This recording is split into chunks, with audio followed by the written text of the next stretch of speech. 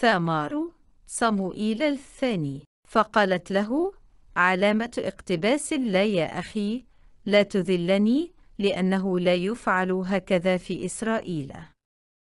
لا تعمل هذه القباحة نقطة علامة اقتباس. أما أنا فأين أذهب بعاري؟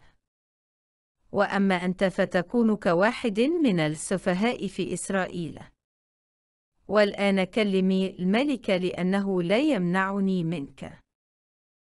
فقالت له علامة اقتباس لا سبب. هذا الشر بطردك إياي هو أعظم من الآخر الذي عملته بعلامة اقتباس. فلم يشأ أن يسمع لها